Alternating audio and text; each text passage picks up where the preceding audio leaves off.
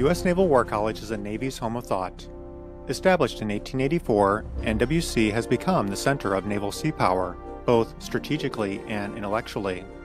The following Issues in National Security lecture is specifically designed to offer scholarly lectures to all participants. We hope you enjoy this upcoming discussion and future lectures. Well, good afternoon, and I, it's my pleasure to welcome you to the second summer series lecture. I'm John Jackson, and I will serve as host for today's event. Admiral Chatfield is unable to be with us today, but I'm pleased to welcome you on her behalf. We've enjoyed bringing you this service series as a way to share a portion of the Naval War College's academic experience with the spouses and significant others of our student body. It has been expanded to include participation by the entire Naval War College extended family, including members of the Naval War College Foundation, international sponsors, civilian employees, colleagues throughout Naval Station Newport, and participants from around the world. Looking ahead, on the 27th of July, Dr. Mike O'Hara will talk about the future of war and on 10 August, Dr. John Maurer will talk about Winston Churchill. Our 16 lecture series for academic year 2021 2022 will commence on 7 September. We anticipate that three of the lectures will be presented in person on campus, and the others will be shown here on Zoom. Okay, on with the main event. During the presentation that follows, please feel free to ask questions using the chat feature on Zoom and we will get to as many as we can at the conclusion of the presentation. Technology and increasing levels of education have exposed people to more information than ever before. Today, everyone knows everything with only a quick trip through WebMD or Wikipedia. Average citizens believe themselves to be on an equal intellectual footing with doctors and diplomats. All voices, even the most ridiculous, demand to be taken with equal seriousness, and any claim to the contrary is dismissed as undemocratic elitism. Today, our speaker will discuss how we got where we are and what this situation means for the future of our democracy. Dr. Tom Nichols is a Navy War College professor and an adjunct at the U.S. Air Force School of Strategic Force Studies and at the Harvard Extension School. He is a specialist on international security affairs, including US Russia relations, nuclear strategy, and NATO issues. A nationally known commentator on US politics and national security, he is a columnist for USA Today and a contributing writer at The Atlantic. He served as a staff member in the US Senate and has held fellowships at CSIS and the Kennedy School. He's taught at Dartmouth, LaSalle, and Georgetown. And interestingly enough, he is also a five time undefeated Jeopardy champion. So, if our category is noted national security educators, our first question is Who is the author of The Death of Expertise? Contestant number one, the digital microphone is yours. Thank you, John. And thank you all uh, for being here. Um, what I will try to do here is in about uh, for the hour we have, I'll try to spend about half of that giving you an overview of uh, what I wrote in the book and why I think this is a problem, and then I'll try and move as quickly as I can to Q and A because I think that um, usually is where um, folks really want to participate, especially on something as controversial uh, or potentially controversial as this. So let me just put this up and begin sharing some slides, and I will take you through it. Oops and yes, I'm off. There we go. Okay, so um, the the book is actually called "The Death of Expertise," but that's not a new uh, phrase. That's been around for a little while. But I'm also going to add here that I'm not representing the government of the War College uh, on anything I say here, as I didn't uh, in the book. And I, I, think the first question is, why would I even write something like this? Um, why would I write a a book with such a um, potentially controversial title because we all know that expertise isn't really dead. We're surrounded all most of the people sitting here right now. We're all experts. We all have something we're good at. Um, we know that we con- consult experts um, when we have issues, whether it's going to our doctor, car mechanic, plumber, whoever. And really, you know, is this new? I mean, when I first started talking about this, I had to admit, you know, is this just um, pointy headed college professors complaining that people don't listen to college professors? Uh, that part isn't new. And that's not why I wrote the book. People have always distrusted experts or intellectuals um, because it's it's exclusive. Uh, and again, whether it's your car mechanic or your doctor, you don't know that material, so you're a little suspicious. You always want a second opinion. You're not quite sure what you're being told. That that's normal, and particularly with college professors. I tell a story in the book. My late brother, rest his soul, he used to run a bar, and I, when I was a young professor, I'd drive down to my hometown. It was near uh, New Hampshire. I was teaching at Dartmouth. I grew up in Massachusetts. I'd go down to my brother's bar and hang out. And one day I, I, left, and my brother told me later. A guy at the bar looked over and he said, "So your, your brother's a college professor?" my brother said, "Yeah." And the guy says, hmm, "Seems like a good guy anyway." Like that's that's normal. People just kind of have that image in their heads. What's different, and what made me write the book was an emerging problem where people think they're smarter than experts that where they don't want a second opinion, they want to substitute their own opinion. And that's what's really becoming scary. Um, and I interviewed a lot of people across a lot of fields. And again, it's from doctors to diplomats, ordinary people saying, medicine, let me explain that to you. Nuclear arms trainees, I've got that. Um, how worrisome is this? Well, let me give you a few examples because the other part of this that made me write the book is not only that people think they're experts or think that they're smarter than experts, but they are super, super confident about that. Um, and yet their knowledge base is pretty low. For example, the Washington Post asked uh, Americans back uh, when the when the Russians first invaded Crimea and Ukraine what we should do about the Russian invasion. And a lot of Americans had some really strong views on this, including putting U.S. troops uh, into Ukraine. Excuse me. Uh, um, and, and, you know, putting actual NATO and U.S. forces into Ukraine, or as we political scientists would call it, World War III. Um, the problem was that people who said this were people who did, tended not to know where Ukraine is. And this is a great Jeopardy question, by the way. Ukraine is the largest country whose borders are entirely within Europe.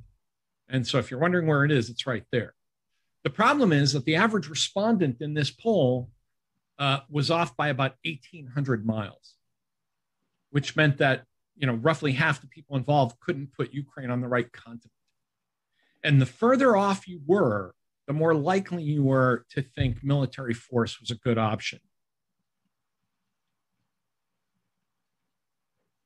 This is a great map, and it's one that always blows my mind. See all these little blue dots in front of you? Every one of these dots is the guess of an American adult about where North Korea is. now, think about that for a moment. Only about 32%, including college educated respondents, only about 32%, roughly a third of respondents, were able to identify North Korea. And my favorite part of this are the people who uh, got it that it was in on the Korean Peninsula. If you look up there, uh, but for some reason thought it, it, was in the southern tip of the Korean Peninsula, even though North is right in the name of North Korea.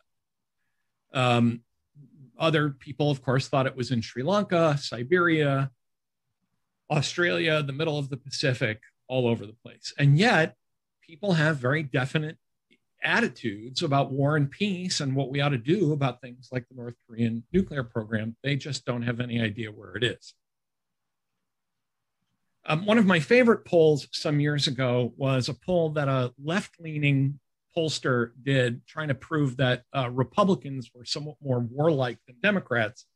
Um, and turns out everybody involved got an ugly surprise. Um, they were polled, Democrats and Republicans were polled about bombing Agrabah. And um, Americans of both parties, as it turns out, did have pretty strong feelings about this. And Republicans, in fact, were much more willing to bomb Agrabah. Uh, Democrats, as it turned out, had very strong feelings about not bombing Agrabah and not using military force. This is Agrabah. It's the fictional character in the movie Aladdin. Roughly half of the respondents had a very strong opinion about whether or not to bomb a cartoon.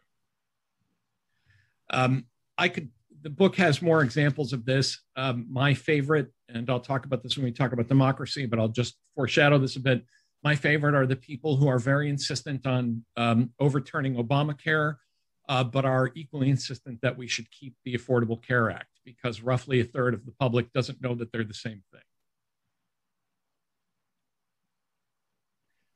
All right. Well, how did this happen? Uh, I identify three culprits. Most people, by the way, when I think about when I started to talk about how did this happen, they say, well, it's the internet, right? The internet has made us stupid. Um, no, the internet has made it worse and put it all on steroids, uh, as has talk radio and uh, the way we do higher education. Um, and I'll talk about each of these individually, but I have to tell you that underlying all of this, and I actually talk about this in the next book I've written coming out next month called Our Own Worst Enemy. What's really going on here is that we've been suffering a 40 year long epidemic of narcissism. And that underlies all of these things. For example, in higher education, and you know, I, I've had a pretty successful career at the War College. I've taught at Dartmouth. I've taught at Georgetown. I've I've had a good run all the places I've taught. So this is not, you know, sour grapes about those darn kids. Um, but colleges now are heavily, and I, I hate to say, even the war college to some extent, we spend too much time on what I call a therapeutic model of education, where we are constantly asking the students, Are you okay? Are you happy? Did you like this? Did you enjoy this course? Did you feel fulfilled? Does this feel important to you? when in fact the students really aren't in a position to answer those questions. We're asking them questions as if they're reviewing a restaurant. You know, did the did the world religion course have enough spice? Did the English course was it warm enough? Um, we spend a huge amount of time, particularly with undergraduates, making sure they're happy instead of making sure they're uncomfortable, which is really what college and higher education should be about. And college should make you a little uncomfortable. It should be a place where you have to challenge yourself and, and question whether the things you believe in are really true. Um, with the media and talk radio, uh, part of the problem here is is the explosion of bandwidth. Now, I, I'm not going to say that the world was a better place when the news was 28 actually some of us here are old enough to remember the news used to be 15 minutes long before the vietnam war um, so I'm not sure that the world was better informed when the news was only 28 minutes and it was pretty much the same string of news curated by you know corporate executives and read by old um, distinguished looking white guys. Uh, on the other hand, the need to constantly fill bandwidth and the need to find and hold an audience has created um, a lot of nonsense, a lot of fake expertise, and a lot of tribalistic politics where you can spend all day long watching television and really not be very well informed, but feel very much part of a team. Whether you're watching Fox or MSNBC or whatever, um, you can watch hours and hours of television and, and not end up knowing as much as you should probably know and that you could learn from um, reading a newspaper for 30 or 40 minutes. And finally, there is the problem of the internet. And, and one of the things that I think, I, I'm actually a technological optimist. I'm 60, so the internet, I kind of came of age when the internet did. I was actually the, the computer the computer committee at Dartmouth in 1989 in my department was me um, because I was 28 and I was the only guy that understood any of that stuff.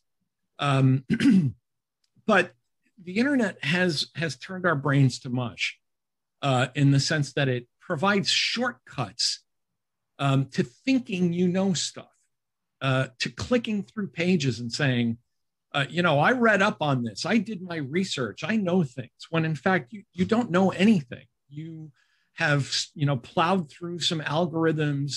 You have gone to one of the, you know, nearly, I think at this point, there's a, over a billion websites.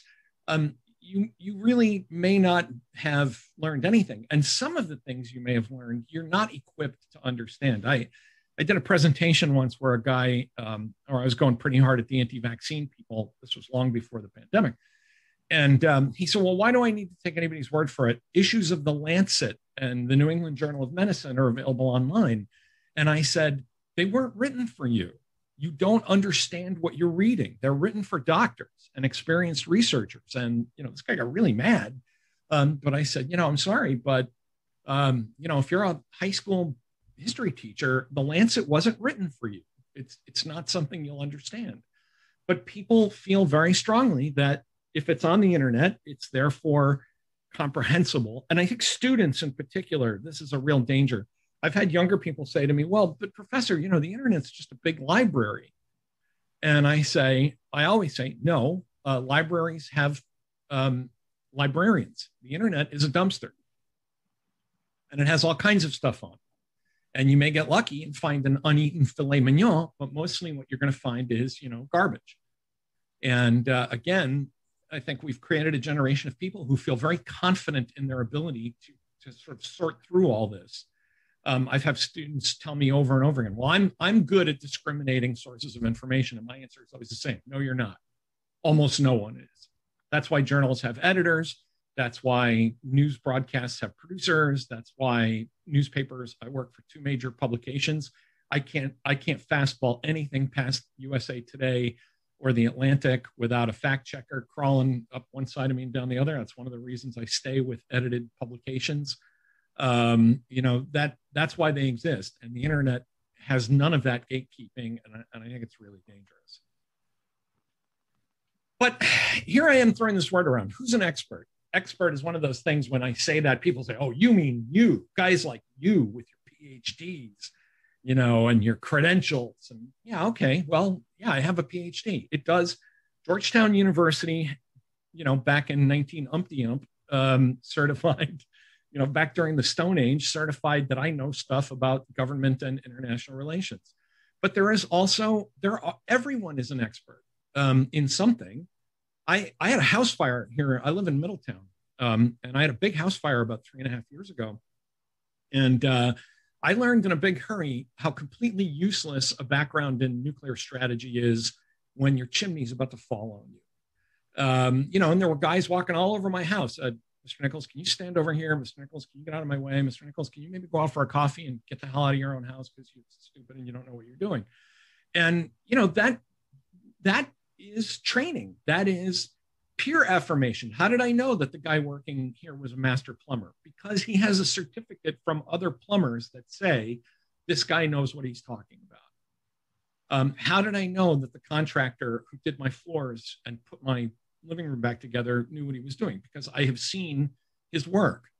Um, you know, there are many forms of expertise, and people bristle at this word when they really shouldn't, because expert, you know, your dentist is an expert, your um, your uh, electrician is an expert. I, I am terrified of electrical boxes, by the way.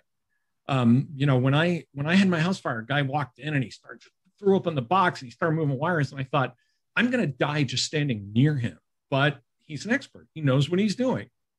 Um, and so, you know, there are credentials, there is training, peer affirmation, all of those things count.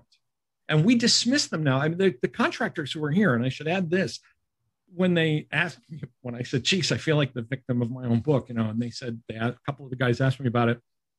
And they said, you would not believe how many times a homeowner stands over them and says, so uh, what kind of wire are you putting in there? as if they would have any. You, the guy could say, "I'm putting in a number nine cavatelli with a side of fettuccine," and it wouldn't make any difference because the guy asking the question has no idea. But we have become this kind of narcissistic society where we feel the need to be in charge of everything. We simply cannot admit that we don't know. You know, I mean, I, and and I, I tried to be good about it. when the electrician said we've got to put in a, I forget what a GFP GT, whatever it was, I finally went, Jim, words, words, words, power, lights, right? And he said, Yes. I said, Tell me why this is good. He said, It's safer. I said, I trust you because I'm not an electrician. I'm not certified by the state of Rhode Island. I believed him that this is safer. And there was no point in harassing them all day long. But people do this to each other all day long. A doctor um, I interviewed for this said, very soft spoken guy, he's a surgeon. He said he has gotten to the point where he wants to just put the drugs and the scalpel on a tray and slide it across to the um, patient and say, "You do it." Because patients now literally walk in instead of saying, I'd like a second opinion or I want a full explanation, they say things like, um, here's what's wrong with me and here's what you're going to do. Uh, this actually happened. I was giving a talk in the Midwest, and a pediatric surgeon, in the paperback version of the book, I tell this story. A pediatric surgeon came up and said, a couple came to him and said, Here is the procedure we are contracting you to perform on our daughter. And he said, I don't, he said, that's not how surgery works. Um, I am not a contract player. I will advise you on whether or not this is a good idea and decide whether or not to do it. But he said, and then he said, look, this is very dangerous. This, this surgery is not warranted. If, if this were my daughter, I wouldn't do it. Um, and they said, okay. And they walked out and they went found a surgeon who would do it. And the child, as the doctor told me, the end of this story was gravely injured. Um, but the parents were like, look, we've done our research. We know what we're doing. We don't take any back talk from pediatric surgeons. Um, this is the procedure we want. And um, that, you know, that's that kind of behavior is why I wrote the book. But I'm sure everybody's champing at the bit to say, but Tom, but, but, but, what about when experts are wrong? And they are wrong. Um, experts are human beings. We are not omniscient. We are not certified to never be wrong. Um, we are also weak human beings who engage in things like fraud. Uh, and when I say we, I mean other people. um, but you know, we experts engage in fraud, falsification, exaggeration. Uh, doctors doctors have left clamps in people. Pilots have crashed airliners. Um, the CIA director told President the second President Bush. Weapons of mass destruction Iraq is a slam dunk. Um, my point in all this is this is not a case for dismissing experts. It's a case for bringing in more expertise. It's a case for bringing in red teams, team B, um, second opinions. It's not a case for saying, well, experts. I, someone said to me during a talk once, um, we were talking about eggs. I talk about this in the book. I like eggs, and I gave my own doctor hell because I said, "Oh, I can eat eggs now," and he kind of hung his head and he said, "Yeah, we were wrong about that." Um, of course, the people who found out they were wrong about that were other doctors, but I kind of, you know, nudged him and I said, "Thanks, doc. You know, I've been eating carbs when I should have been eating eggs." And someone in the audience said, "Well, this just proves that doctors don't know anything about heart disease." And I said, "Whoa, whoa, whoa! That's a really different issue than doctors misunderstood the mechanism of metabolizing cholesterol in an egg yolk. That's a long way to go to get to doctors don't know anything about heart disease. Um, and that leads me to the line I always use about this experts are not always right. They're just more likely to be right, particularly in their area of expertise, than you are. That's, that's, and you know, you would think that's a very common sense kind of um, assertion, and yet you would be astonished at how people, how many people say, uh, you know, no, I, I can. I mean, the, the guy who writes, and I quoted him in the book, the guy who does the Dilbert comic strip said, you can become an expert in an hour by talking to any expert in a field and having them just talk to you and you can absorb it, including a president. Um, now, you know, I was always a fan of the Dilbert comic strip. That's just a flatly stupid thing to say. Um, you cannot become an expert in an hour. Any of you here who are experts in your areas, particularly military folks, imagine me as a civilian walking up to you and saying, "God, just brief me on how to run a fighter squadron. Give me an hour, and I'll, i got it from here." You know, tell me about uh, you know, tell me about station keeping and you know how to drive a ship, and give me about an hour or two, and I, I can get that down, and I'll just practice. But this is how I think this, and it's not just the United States. I'm going to brag slightly here and say, you know, when I wrote the book, I really thought I was mostly castigating Americans because Americans are the very much the let me tell you kind of guys. You know, we're we're big talkers. Um, but the death of expertise is now um, in 14 languages around the world, and I was pretty shocked by that. Uh, you know, when the first foreign contracts coming came in from places like Korea and Japan, I was like, I'm sorry, does Japan have a problem with you know expertise? But I think it shows that in an advanced post industrial society where there's a lot of education, and I, um, I'll probably get questions about this, but I'm going to say maybe too many of us are going to college um, for the wrong things and, and certainly going to college at all. Um, but I think when you have super high levels of universal college education, the internet, um, a, a, culture that you know is kind of a trophy and achievement culture, you get people all over the world. I mean, I professors in places like um, you know Australia and Germany were telling me things like, "Oh yeah, my students are like this," and I, I just I was really shocked. I mean, it was gratifying. You know, it's nice to brag and say, "Oh, my book's in this many languages," but it also really un, kind of unsettled me to think that something I thought was mostly a cultural problem in my country turns out to be a global problem. But, but there is no doubt about it. Experts, and particularly when advising policymakers, and I was one of those expert advisors, I did make mistakes. Um, we're gonna we're gonna screw up. Um, but you know the policymakers are the policymakers. Experts are the advisors, and um, you know a good policymaker does not rely on one expert. My I um, you know, I can talk more about this later, but during the first Gulf War, um, I was working for the senator from Pennsylvania, and he asked me for a what what then would have been a very classified estimate of casualties, and of course, I, mine were super low because I was getting some really good information from the DoD and working on that with folks at the Pentagon. And he blew up. He he threw me out of it. He literally threw me out of his office in a hail of f bombs. And um, then he went upstairs and checked with some other folks at the Senate Intelligence Committee. And after he talked to a bunch of other experts, he said, "Okay, I, I see what you guys are about. I got it. Um, you know, and we we turned out to be right. Um, but you know, you cannot expect that. Um, and I think this is also part of the very high standard of living we've become used to. Um, you cannot expect a zero defect world of expertise. Like everybody else, we kind of do our best. And that brings me to the last point here, which is that in a, in a democracy, and particularly in a republic like ours, we have to rely on expertise and delegated decision making. We, we just cannot all gather in the public square every year and approve the budget. You know, the, the Swiss do this. And I, I gave this talk in um, Switzerland, and uh, it was an interesting, they had invited me because the Swiss do have a direct democracy. They literally do vote on like everything by referendum. And uh, there are people in the Swiss democracy business who are wondering, you know, can we go on like this? Because the Swiss public is becoming kind of um, lazy and uninformed. And there are people in Switzerland saying, you know, can we survive this way? But Switzerland is a small place with a lot of decentralized local control. Um, the United States cannot survive on ignorance.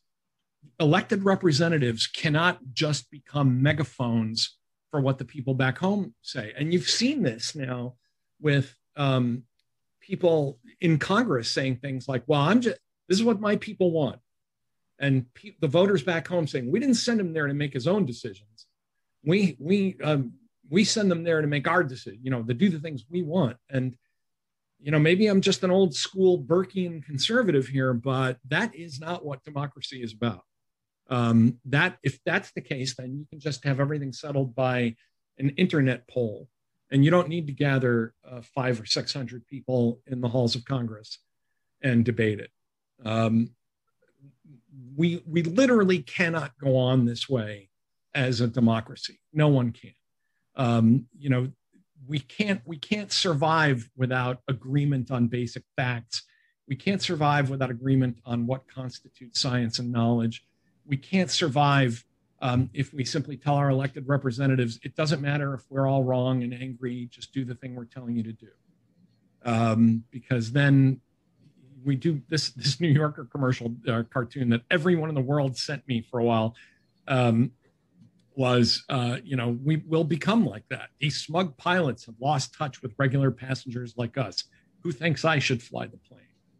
Um, you know, things just don't work that way. We have an accountability mechanism in a democracy. It's called elections. And if you don't like the policies that you're getting, um, vote for people who are going to make different policies. Um, but you, you, you're not going to vote on the nature of reality or what constitutes a fact. And unfortunately, um, we really have reached that point where, you know, again, people say, I have very, I have very deep thoughts about healthcare, but I don't know that the ACA and Obamacare are the same thing. Um, that that's really dangerous. That's when um, we become uh, not a republic, but um, you know, a mobocracy. And that's partly why I wrote the book because I, I just, in the end, I don't think that um, you know it's it's entertaining to talk about the things people don't know, and it can be kind of funny. But in the end, um, this left me with a very dark and unsettled feeling that democracy cannot survive this way. So I'll stop there, and I will leave the rest of the time for Q and A, and um, be happy to take your questions. Okay, Tom, thank you very much. Uh, uh, you have uh, generated uh, quite a few issues and quite a few questions. Uh, my personal question is I saw the black cat typing on that computer. When does that book come out? Uh, that comes out August, that will drop August 19th. Very good, sir. Okay, question. you had some pushback on the term dumpster. Uh, as a descriptive term for the internet. Some said absolutely that's an inappropriate term, and others said no, I guess that's really what it is. You want to expand on why your view is that it's a dumpster and not a library. Because, first of all, there is no way to gatekeep the difference between, um, you know, the Middle East Studies Department at Princeton University and ISIS. They can, all you have to do for for any of you can open a website and call it call it news, call it opinion, call it facts, call it whatever you want for six, seven, ten bucks a month. I used to have a blog with my own domain, and I finally gave it up because I realized that was part of the problem.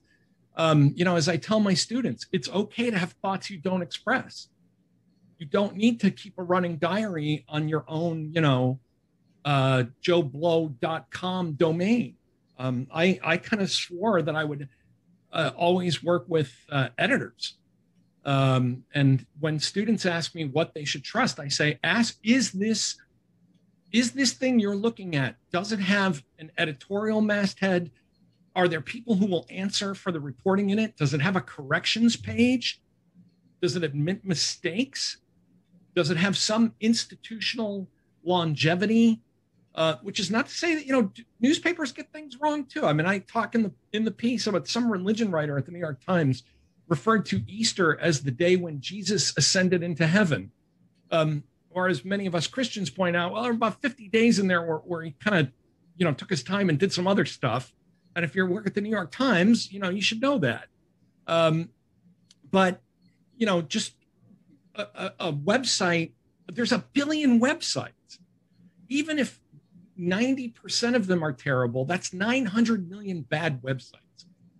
And I think the ability to just drop anything on a website on the internet is a problem. I and by the way, I was approached. I, I, thought about it, and every now and then I still think about it. I've been approached by places like Substack and Patreon and others, and I am afraid to work without editors. I really am. I just think it's just too easy to say things that are dumb or not true. Uh, and so I think you know this this notion that the internet is this I love the internet. I mean, I'm sitting here talking to all of you on it. I have a Twitter account, I have a Facebook account. But the idea that somehow the internet isn't this giant cesspool is, um, it's, I, I think, defies empirical reality. There are great sites on the internet, um, but most of them are just dumped there. The other thing, and I'll, and I'll get off this soapbox, is that most people are completely unaware of the notion of algorithms. You know, if you, excuse me, if you do a search for um, how do you make chicken soup, you're going to get ads from Campbell's and Progresso. The, the internet is built to drive traffic that way. Someone made a joke about me a while back that this, I usually use a big uh, chair when I'm sitting at my desk here. And someone said, well, and it's a guy doesn't particularly like me very much. He said, oh, I'm sorry to see that Tom Nichols is in a wheelchair now. And the algorithm caught fire on the internet. And to this day, there are people who, who think that I am a, a paraplegic or a quadriplegic because the, the algorithm seized on disability and my name and just kept putting that together in searches. I'm sorry, that is a dumpster. That's crazy. Um, and I think just like with newspapers or books, there is a difference between a book published by Random House or the University of Kansas Press and a book published by Joe's Garage Press in Joe's Garage. I am a big fan of gatekeepers and people taking responsibility for content that's put out there. So I, I, I think that that, you know, is really I, the idea that the internet has that it, do, it does not. Um, someone asked just to tie that up. Someone asked about Wikipedia. I talk about Wikipedia in the book. I actually corresponded with um, one of the founders of not Jimmy Wales, but um, Larry. Name just went out of my head. And you know, Wikipedia is only as good as the editors who use it. Wikipedia has endless entries on things like movies and sports and porn stars and STEM, and is totally awful about things like history, literature, other stuff. It's totally driven by a group of young men, mostly men. Most of the editors are men. And so, you know, it's not an encyclopedia. It's a kind of a public chat club that is moderately edited. I tell my students, don't, unless you're looking at like a simple date or something, don't use it. Uh, Tom, we got a comment from one of our uh, librarians that perhaps we should stress the difference between information we get from the internet and information we access via the internet yes. to a curated site or a library site. And I, you know, I am a huge booster of librarians. I often refer to them as among the last guardians of Western civilization and knowledge. Um, you know, that's another thing that I tell students all the time, both war college and undergrads. Uh, look, if you're in doubt, go to a librarian, go to a reference librarian. That's what they're there for.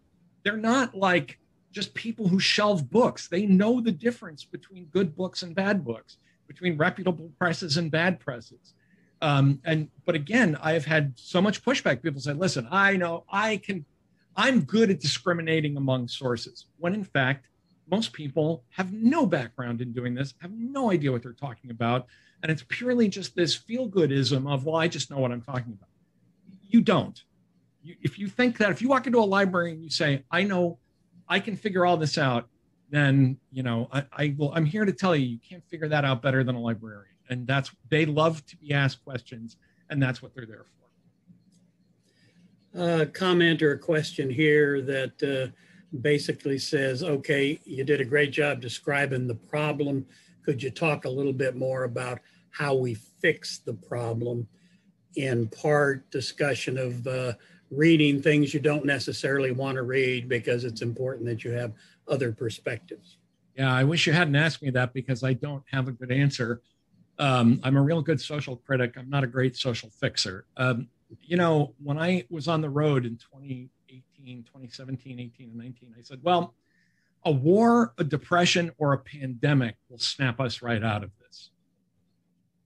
And I was wrong I was just wrong. I mean, pan, this pandemic deepened it. We now have people that are absolutely committed to the most ignorant possible rejection of science there is. And um, we have turned um, science into a partisan football game in a way that, you know, I, I find astonishing. I mean, I, I'm, I'm old enough that I was vaccinated against smallpox. Um, to me, you know, this is, this, this is, um, so I, I don't know what snaps us out of it. I think um, at this point, demography, I think younger people are better at this than older people. I think that, you know, one of the things we found is that people 55 and older, my generation, John, yours, um, are at, because they have a lot of time and they don't have, they have a lot of time on their hands and they don't have a lot of experience with technology, they are actually the most likely to fall for conspiracy theories and misinformation on the internet, and also in part because their primary um, form of interaction with the internet is Facebook. Um, and I just don't know what to do about that. My advice to younger people is um, turn the TV off for an hour a day and read a newspaper. Just read one newspaper. That's it. Or subscribe to one on the internet and start your day with a cup of coffee and 30 minutes of a reputable major newspaper, whether it's New York Times, the Boston Globe, the Chicago Tribune, the LA. I don't care what it is. Something with an editor that is committed to you know news stories um, but it shows you how stubborn people are about this i said that to a guy at a book talk once and he said well what do you read and i said well okay I said, I'm an old Washington guy. I, I have a kind of nostalgic attachment to the Washington Post um, because it was the best politics news and it had, a, had comics in it. He said, Well, I'm not, re- that's inside the Beltway talking to itself. That's the power elite talking to itself. I said, Okay. Well, you know, the newspaper of record in America is the New York Times. And, you know, as long as you stay away, if you don't like the editorial slant, you know, the New York Times, he said, uh, East Coast cultural elites. I said, Okay. The Wall Street Journal is in New York, and no one has ever accused them of being lefty East Coast cultural elites. He said, capitalists. And I said, so what we're really playing here is a game where you want me to find the the BS internet site that you usually go to and then tell you that's okay. I said, what do you, how do you know the things you know? And he said, well, I read things. I said, what things? And by the way, for all of you wondering how to interact with people who do this, ask them questions. Just say, where did you, someone says, you know, I know that, um, you know, Joe Biden and Donald Trump are alien lizard people here to steal our water. Just say, where, where did you read that? Where, where did you, where did you find that out? And you'll inevitably say, well, I've read stuff. Just keep asking them, what stuff? Where? How did you find that? What source is that? And inevitably it's, well, I was, you know, I was screwing around on my phone and I read something cool and it flashed and I hit like. Um, I, other than that, I don't know what to do about it. And you know, journalists, I, there's a whole chapter about journalism in the book. I think that this slagging of professional journalists is really um, nonsense. I've worked with a lot of journalists, both in government and then as a writer myself. You know, actually really do try uh, to get things right. And yeah, they screw up. Again, you know, when the Washington, you know, 35 years ago, the Washington Post hired a woman who fabricated a whole story about childhood heroin addicts. It happens. But 99% of the other time, you know, they are getting things right and they're doing their best to get the story to you. And this arrogant, narcissistic, you know, I know things because I'm important and I have secret knowledge.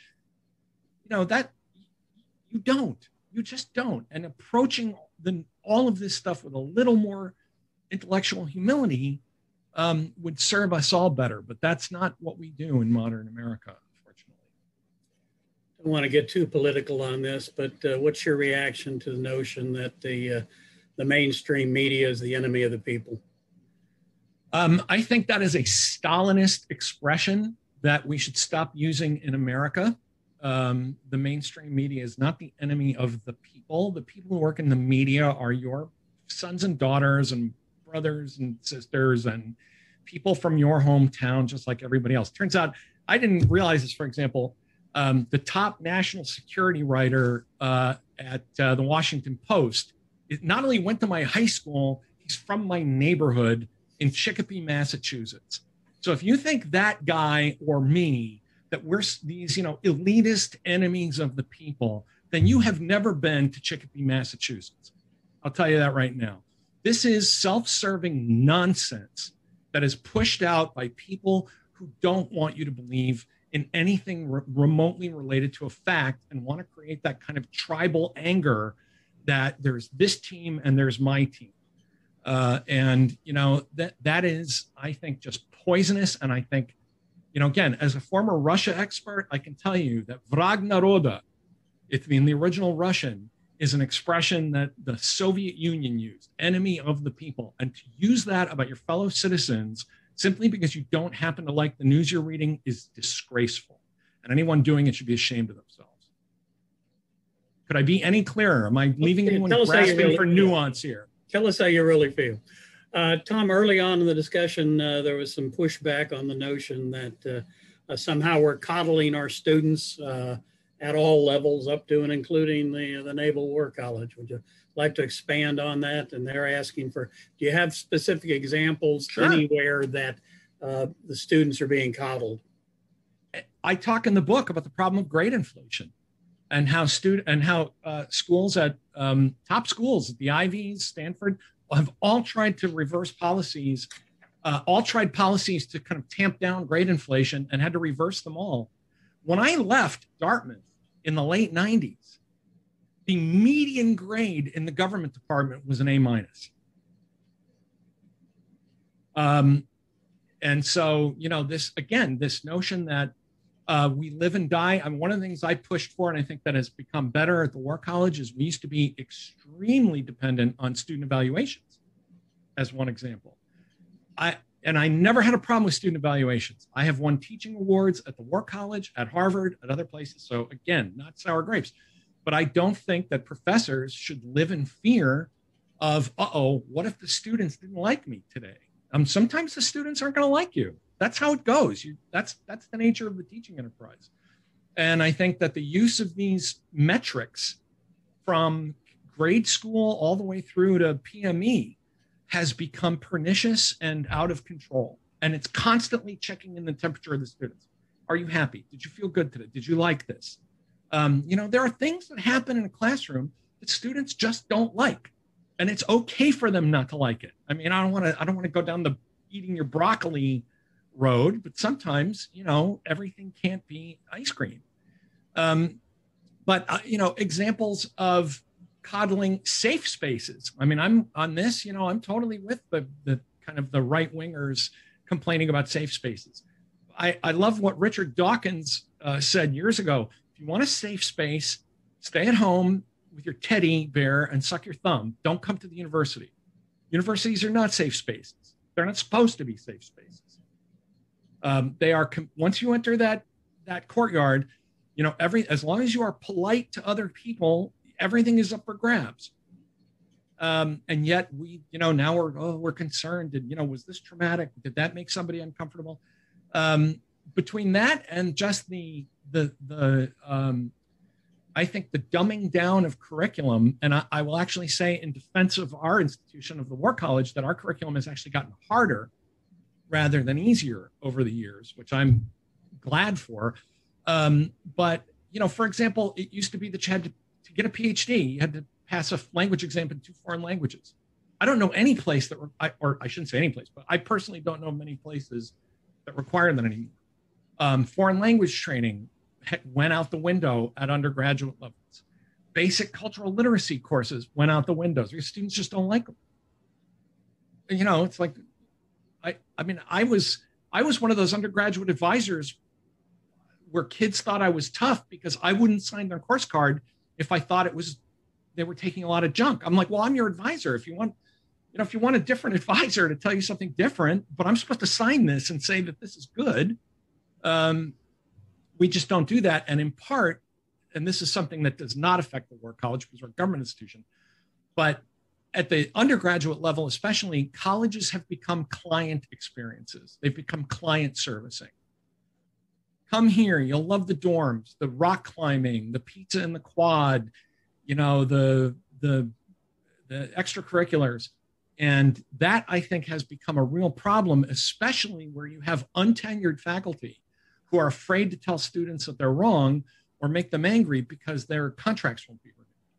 The most important function, one of the most important educational functions of tenure in those schools is to be able to say to a student, I know you tried hard. You're not good at this. That's why you got a D um, without worrying that they're going to get fired. Um, but in, in a university where increasingly you have young adjuncts who are on one and two year contracts um, they just their thing is keep the clients happy, keep the customers happy, don't generate bad reviews, don't generate bad teaching evaluations, and I think that is that's a that's just bad. I think that's just bad for the higher education enterprise in general.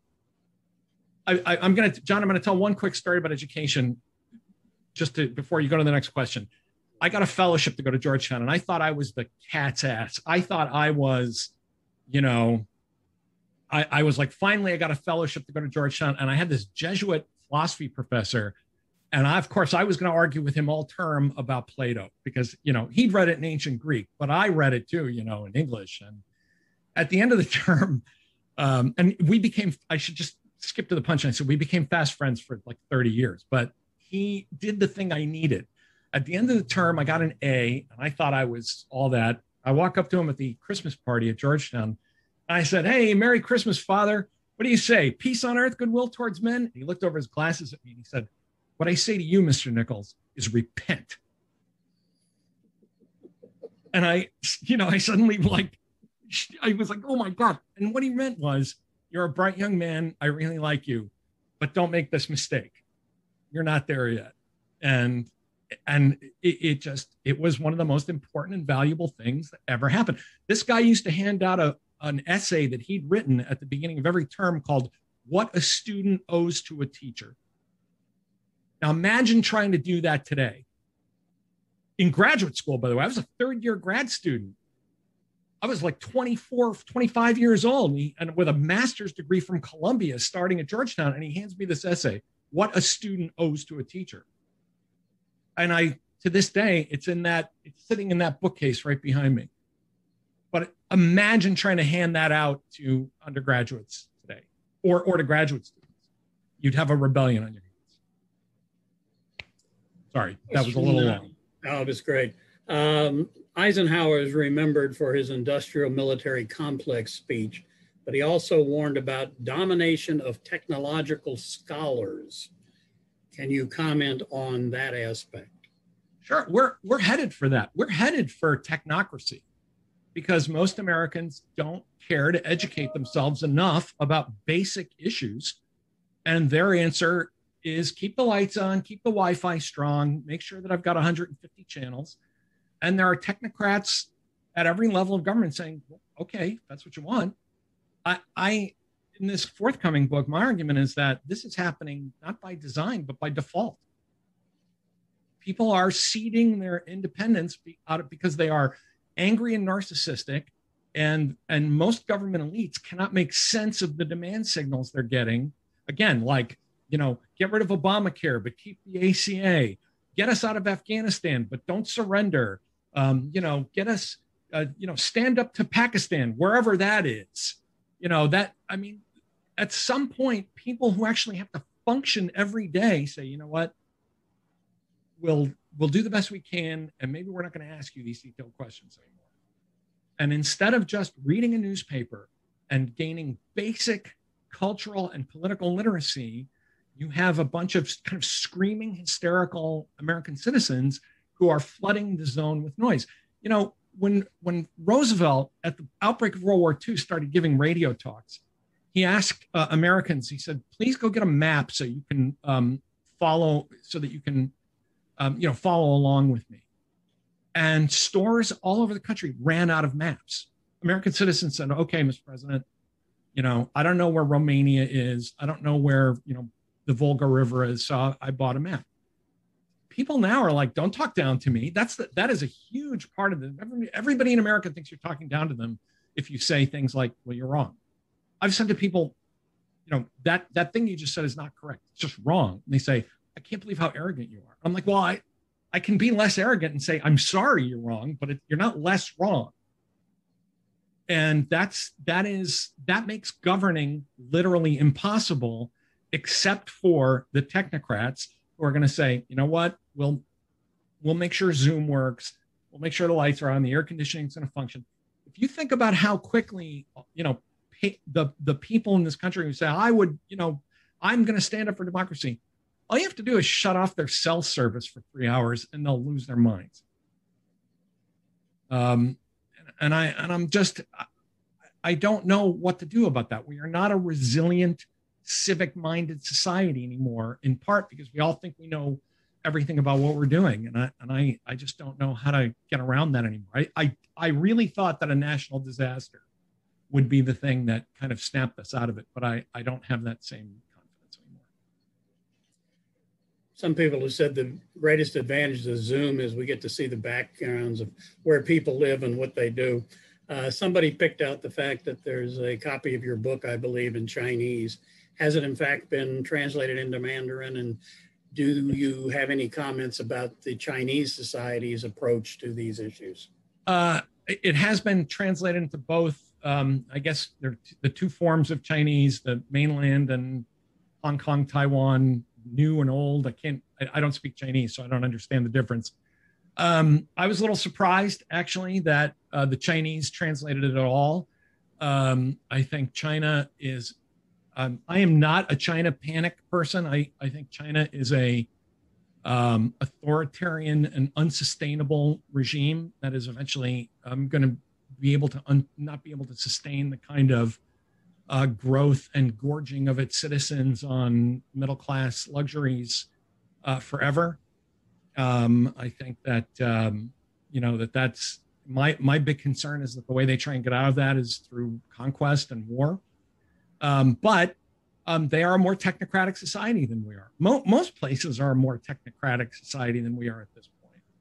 Um, we have become a society that is kind of um, you know, we have outsourced a lot of our technological knowledge because a lot of our own kids, and I know somebody's gonna raise their hand and say, well, wait, my kid's a physics major. Okay, but I'm simply saying we have tons of people going to college, and yet we're not producing a lot of the kind of technical know-how that that we used to produce, say, you know, after Sputnik or after the computer revolution in the 60s. Um, that that's just been petering out. So we have tons of people with college degrees who really have kind of high school plus degrees.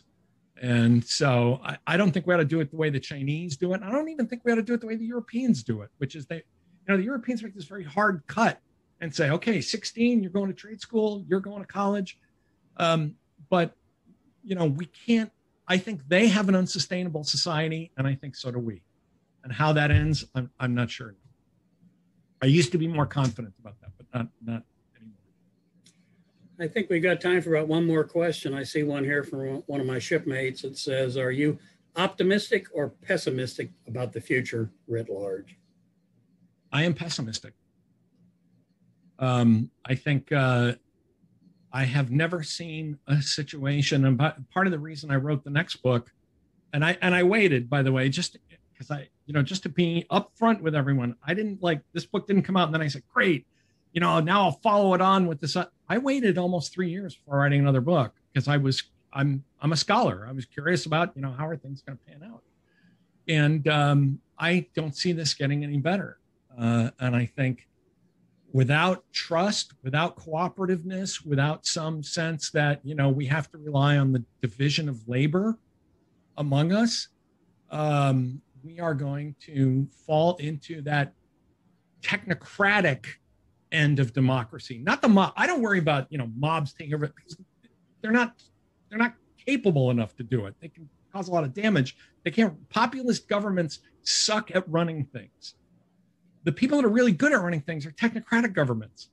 And I think, you know, in the end, that's probably what's going to happen is that we will have things, things that work, and a middle class that lives a pretty good life, and you know, an impoverished class that where you know poverty is kind of miserable but not super miserable and a very wealthy class that you know provides support to this you know technocratic kind of regime that we're going to mutate into and i think it's our own the, ne- the title of my next book is our own worst enemy and i think all this is going to happen because it is on us uh, and we're we're the ones that are causing this to happen because we are we are just too narcissistic and lack civic virtue and awareness.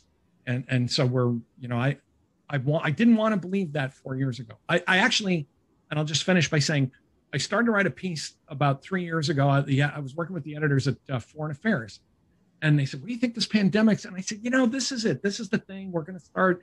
Science is coming back. Respect for expertise." About three months into the pandemic, I called him, and the editor and just said, "You know, this isn't." I just tore up the article. I said, and he went, "Yeah, I don't see it either." And so my optimism at the beginning of the pandemic that maybe this would rally us together, about three, or four months in, I just pulled the piece and, and that's why I don't have a piece in foreign affairs about this. I, I pulled it and said, it, it just isn't happening. And I think it's, it's not going to happen. And I'm really worried about the future. Sorry to be a bummer at the end of the afternoon, but. Okay, I'll give you one last opportunity to uh, end on an up note if you have one. Uh, anything you'd like to cover, Tom, that you haven't had the chance to do? I guess the the the optimistic thing I'll say is all of this is within our power to solve, and it just requires individual decisions. That you know, no, I'm not going to watch four hours of television every night. That leaves me in an incoherent rage. Um, yes, I'm going to read one newspaper a day. You know, yes, I'm going to take a walk and you know go to a farmer's market and look at other human beings and think of myself as a member of a community um, you know, I'm going to read a book about something I don't know about, and I'm going to start from the assumption that I don't know about it. These are all individual decisions that are easy to make. And yet we don't do it because we've become so addicted to constantly feeding our own sense of being right about things. And um, so, you know, it doesn't, it's, it's, this is not an impossible problem to solve. It, we have it within us to do it. And I, I hope that, um, you know, we, we choose to do it over time. I, I have a lot of faith. John I'll end optimistically this way. Actually, as for all, I am known on the internet for being a terror to millennials and Gen Zers. But part of the reason I give them such, um, you know, slag them and give them such crap so often is I actually believe in them and I think they're going to be okay. And I think they're the ones that are going to save us from ourselves down the line. Well, thank you very much, Tom. Uh, terrific uh, presentation, generated a lot of comments, and uh, we are sure that some people may want to reach out to you directly to continue these discussions. So, uh, thank you very much. Uh, that'll Yeah, conclude thanks for having me. today's session, and we invite all of you to come back in two weeks, and we're going to hear about the future of warfare with Dr. O'Hara. So, thank you very much. continue to have a good summer.